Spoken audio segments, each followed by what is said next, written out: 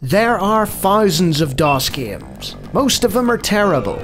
I play one selected at random with a 20 minute time limit and record it live. This is the result. Welcome, ladies and gentlemen, to another Random DOS game show. And this time, it's the Cycles International Grand Prix Racing. Hey, Grand Prix Racing. Well, wasn't that a game in its own right? DSI, Distinctive Software. Well, we know them, don't we? We know who Distinctive Software are. They're the people behind stunts. So, uh, I'm gonna set a timer and we're, we're gonna get going. Choose game type. So we got practice, um, single race, championship circuit, and we can enter our name. Our name is Lonnie, but we'll uh, type that right. Let's just do a quick practice. Oh, look at the guy bring the bike out. So we can uh, we can sort out specifications and stuff here. That's pretty cool. And of course, the music is excellent. Ah, right. The uh, it's CC, so we'll go with a nice low CC engine. Uh, we, we'll just we'll just fly along. Choose your track. England. Okay, prepare to ride. Okay, so it's controlled by the arrow keys. Nice and simple. You are, oddly enough for a bike game, this is first person perspective. Ah. Whoa, that turn. Now, th those on the channel who have already seen me play racing games know Lonnie, good on the straights, bad at cornering. So, there was a there was a Grand Prix game also published by Accolade, I believe, called uh, Grand Prix Circuit. Uh, might have been designed or published by Accolade, or I think I think Distinctive Software may have been involved there as well. Um, and it was considered one of the uh, great early Grand Prix games. Basically, with Grand Prix games, there's pre Geoff Crammond and post Geoff Crammond. He, was that influential in terms of Grand Prix. But this, this now, oh, this is like Grand Prix circuit, but you're on a motorbike. And the gameplay is excellent. Absolutely excellent. And I don't know why I'm sounding surprised. I shouldn't be really. Because it's distinctive software, they knew what they were doing, and I will always, always go to bat for distinctive software. You might know them nowadays as EA Canada. Yeah, they became EA Canada. There's the finish line. Let's cross. Ah, that was good practice. Oh, that's nice. It allows you to just uh, see if you can best your previous lap. Oh, I've missed that corner again. But let's exit out of that. So, overall statistics for Donington Park. There we are. Best lap was lap number one because it was the only lap we did. Alright, so the next mode we've got is single race. And uh, let's up the specifications, shall we? Let's go for 500cc this time and we'll see what it's like racing against some of our people. Let's also go to Donington one more time. Ah, is this the qualifier? Oh, you know, this already feels different. Um, the the bigger engine means everything is a lot faster. So, if you're just starting off, you'll want to play with the, the, the smaller engine because uh, yeah, this this requires a degree of skill, a degree of skill that I currently lack. But I'm doing okay actually. It's very intuitive. There's not much to it. You control things with the arrow keys. Gear shifts seem to be automatic, and uh, the track is very well sort of painted out for you. You know where you're going. You know what you're doing. It's got that distinctive uh, design, yes, pun intended, where the draw distance isn't horrific. You can see what's ahead of you, but there's also not too much um, graphically to distract you. It's very much a pure sort of motorbike racing game. I played another motorbike racing game recently, and I should have realized at the time it was basically Marble Madness, but with motorbikes. You know, it wasn't. Uh, it wasn't an attempt at a simulation at all. And that was a poor corner for the finish there. Alright. End of qualifying. So where does that put us? I thought that was a qualifier. Last. but you know what? Even with that poor corner, you can see 125.8 isn't far off the pack. Joe Campbell there only got 124.5. So that means these boys shouldn't be too hard to race against. Right. The problem is you don't want to play bumper cars when you're on a motorcycle. You know, you, you, you can turn invincibility mode on in, you know, Grand Prix games or whatever and just go bumper cars there. But uh, if you run into somebody here, I suspect you'll both go flying. And of course, we will test that theory, much to the dismay of the Donington crowd. Oh, if I can catch them. They, uh, the AI knows what it's doing, you know. I noticed this in uh, the, DOS version of Need for Speed. That uh, the AI was actually quite good, and it took a, a good bit of effort on your part to actually catch them. But on the straights, I should be faster than Joe Campbell here. Goodbye, Joe. And there we go, up into the next position. We haven't rammed anyone. Oh, corner, corner, corner, corner. Might lose a bit of time on that, but no. They're a bit more cautious with the overtakes because one overtake going wrong spells disaster. There's that corner that I lost time on. And I'm in first place. That that was actually surprising to me. Right, there's a corner coming up. No, no, no, no, no, no, no. I'm on the grass. That's not good. And in true racing game style, the grass does slow you down. But yeah, I'm enjoying myself. More than I thought I would because I'm despite where I come from, which is Northern Ireland, for those who don't know, um, I'm, I'm from the very north of Northern Ireland, and we have what's called the Northwest 200 here.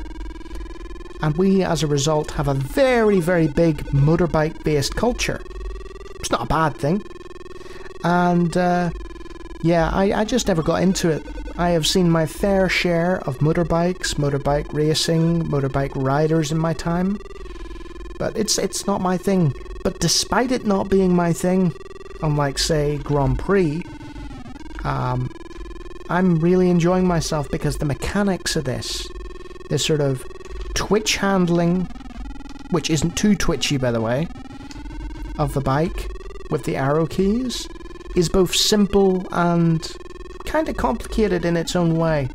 Because you've just got to learn how to drift around corners appropriately, and uh, a lot of this is muscle memory from the stunts days. I said in my need. Oh, I forgot about that. corner. Why did I forget about that corner? Too busy talking. Yes, um, from my uh, Need for Speed review, I said, you know, sometimes it'll take me an hour or two to sort of, you know, figure out the, the handling of uh, the racer, the game in itself, the physics, the drift, and so on. Um, with this, it's not the case because I've played distinctive software games before. I know how they uh, work. Speaking of which, uh, a number of fellas from Distinctive Software, you're probably wondering, James, why do you keep bringing up Need for Speed? But I mentioned this in the Need for Speed video. Uh, some of the fellas from Distinctive Software went on to make the Need for Speed series.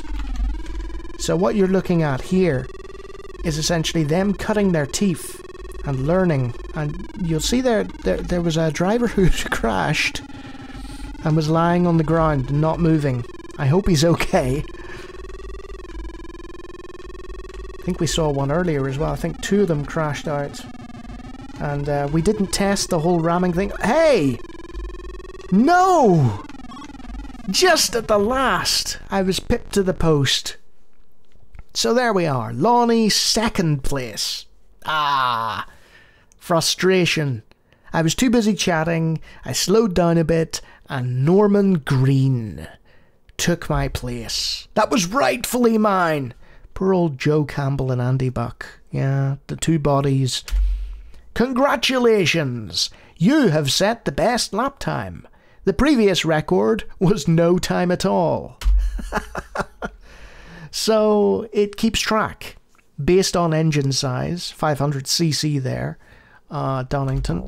So we could do a championship circuit, which presumably would be all the races, and then you'd accrue points over time. But what we'll do is we'll go single race, and we will move up. We're shifting it up a gear. Or not. Maybe it only has 500cc. Oh no, we we we were at 500, I think. All right. Yes, we were we were doing the hardest, the fastest. Uh, let's go to Japan and see if it's different. Yep, this is looking Japanese. Yep, very Japanese looking to me. Don't know about you. Hey, there's a pit lane. So you can get repairs and stuff, maybe. That's cool. And uh, these sort of late 80s games, uh, this was before CD-ROM really became a thing. That would sort of come into play in the sort of early 90s, mass marketing of CD-ROM games. As a result, these games came on floppy disks. And the problem with the floppy disk, of course, is that the max storage of a floppy disk that generally got distributed around that time was 1.44 megabytes. And you had to fit in um, an entire game into two or three floppy disks. Famously, Doom, came, uh, the shareware version of Doom came on two. Imagine playing Doom that way. But anyway, what I'm aiming at here is that you can see that the uh, the texture mapping for the roads, the grass, and everything is more or less identical. The only thing that's changed is the layout. So you're thinking, right, exotic locales, Japan. But almost nothing has changed. What has changed, I believe, I might be wrong about this because I haven't had a good look at it, is the backdrop. The backdrop has changed significantly. At least I think it has. Oh, nice little slaloming. Another thing I need to point out as I finish this qualification lap is that there's slopes. I haven't seen slopes in a game of this age before. And as you can see, another terrible qualification time from Lonnie. And we'll just do a quick race, and I think we'll call it after that, because we've seen... Oh, some some bumping there. Yeah, we can play bumper cars. We don't have to worry so much. I've already proven I can do this, guys, you know. Let's take a few people off the road. Come on. Off, off with you. Eh. No? Huh. Hey, he bumped me. It's getting personal.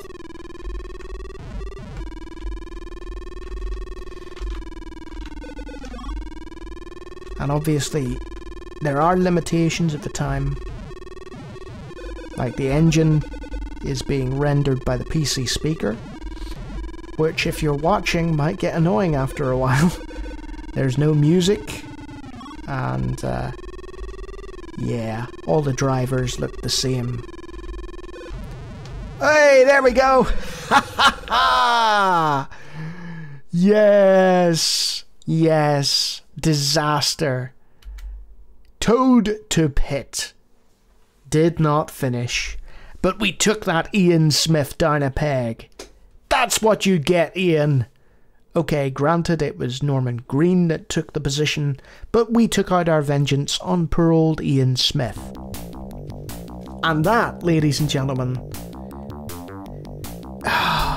it's tempting. It's really tempting to just let this run for 20 because it's really good and I'm really enjoying it. So, with five minutes left to go, this is me saying I could cut this short at 15, having showed you stuff, but I am going to play the championship circuit for five minutes because this game deserves the 20. It deserves it.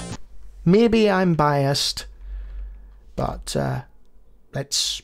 Hey, look, F1, F2, you have load and save options, which is very, very reasonable. And you can see here the actual age of the game because you've got Yugoslavia, West Germany, and uh, Czechoslovakia. I believe it's Czechoslovakia. Uh, it would have rep after it if it was the Czech Republic. So obviously you have to do them in order. So enter to continue. We've already had the Japan circuit, but we didn't have like, uh, you know, uh, a proper attempt at it. We were just messing around.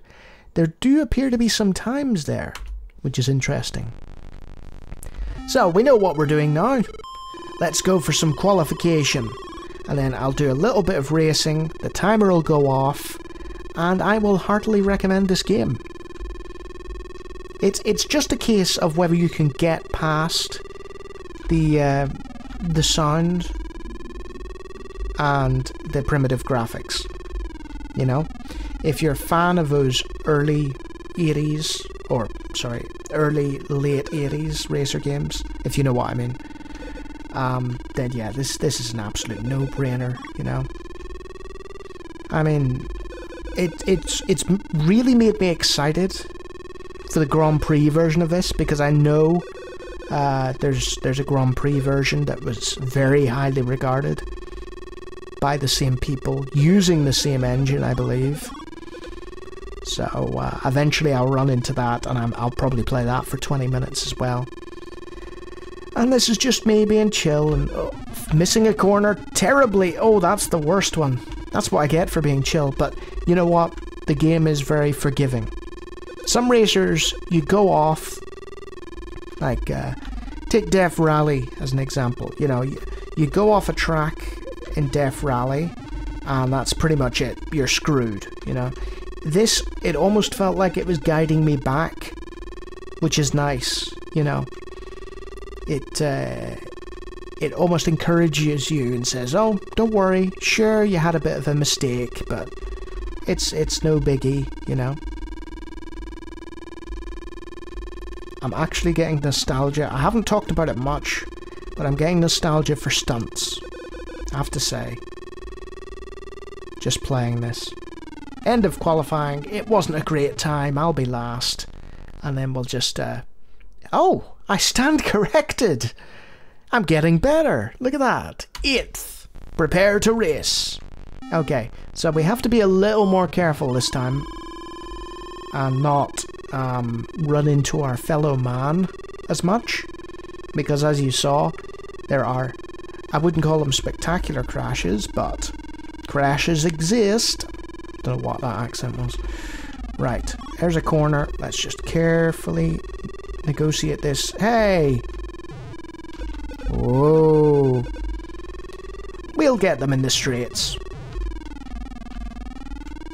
Right now, it's it's corner corner heavy, corner centric. We'll just uh, make our way over here and bide our time. In the words of the great Corey Taylor, biding our time until the time is right. If you don't like heavy music, do not look up that lyric. He basically goes nuts in the middle of the song. There's this quiet bit where he says, biding my time until the time is right. I think it's a song called Scissors by Slipknot. It's from way back in 99. Good stuff. If you like noise, like I do. I'm not racing particularly well, I have to say. Hey! Oh, no! So, you get a number of bumps. You get a number of bumps, and if you exceed that number, you go flying off your bike, and it's the end of a race for you. So Lonnie didn't finish because of that dastardly Don Lee. And uh, we can escape out of this now. And I will briefly sum this game up. What is it? Somebody took the Grand Prix racing engine that had already been developed and said, hey, let's make one for motorbikes. And I love the difficulty level selection. I'm on beginner, so there's a real difficulty curve here. There's championship modes, you can practice any race, you can do a single race on any race to check your times. Um, you know, it, it's just, it's got everything you need from a racer. It really does. And there goes a timer, and rightly so, rightly so, you know. I, I was not expecting, I was expecting maybe I'll go 10, 15 minutes, you know, and say, hey, check out their later games. But this is legitimately good. It's legitimately good, and all fans of racing games, even if you don't like motorbikes, if you like that late 80s aesthetic, the graphics, the uh, the course, sort of the way it looked there, then yes, this is fun and it is for you, definitely. Hearty recommendation, big thumbs up. I think it might just fall short of my top 25, but hopefully this video will stand in its stead. It reminds me a little of IndyCar racing. This is going to be a strange one for you. But IndyCar racing was like NASCAR racing, and it was almost as good, but it missed out on the top 25. I felt like with this one, I know it's probably not going to hit my top 25, but it needed a 20 minute video, so it gets one. Excellent work from Distinctive Software yet again. Great racer, well worth your time. And if you like me waffling on about racing games, I do it every so often, even though I'm not particularly good at them. Feel free to check out my channel for loads of other genres, hundreds of other videos, and if you like what you see there, hit that old subscribe button.